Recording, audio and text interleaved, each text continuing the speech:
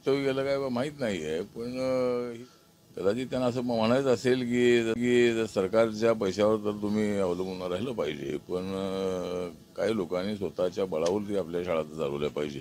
असं कदाचित त्यांनी वक्तव्य केलेलं असावं. मागण्याचा काही विषय नाही आहे पण अनेक लोकांच्या मत्तीवरती बाबासाहेब आंबेडकरांनी आणि पीपल एज्युकेशन सोसायटी सुरू केली.